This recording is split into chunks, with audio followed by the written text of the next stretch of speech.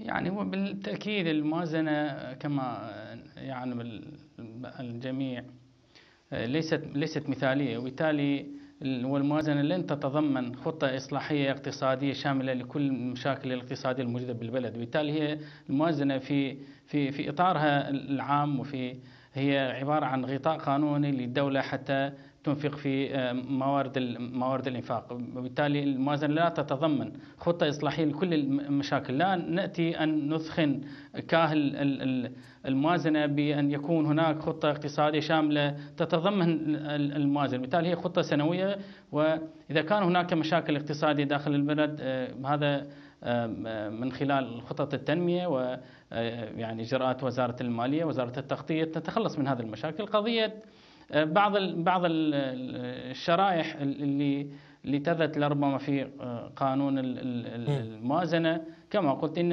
الموازنة ليس مثالي ولن يأتي بكل بكل الحلول بسبب تراكم المشاكل الموجودة في البلد. لو لو افترضنا إنه في كل سنة مالية يتم معالجة مشكلة معينة من المشاكل الاقتصادية التي تعاني من البلد